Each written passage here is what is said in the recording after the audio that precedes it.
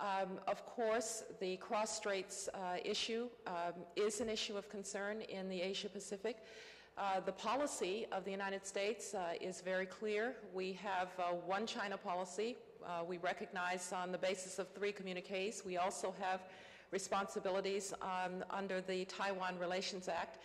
And we have cautioned um, all parties uh, that there should be no attempt to change the status quo unilaterally. That means no attempt by China to change the status quo unilaterally, no attempt by Taiwan to change the status quo unilaterally, and um, our efforts to maintain stability in the region count very much on, uh, an Ameri- on American adherence and that of our allies, uh, which the Japan, Japan is certainly an ally, uh, that the cross straits problem would be resolved uh, peacefully. But we look very much forward, uh, Secretary Rumsfeld and I do tomorrow, to discussions with um, the uh, Japanese, uh, my counterpart and his counterpart, about how we continue to promote peace and security in this region.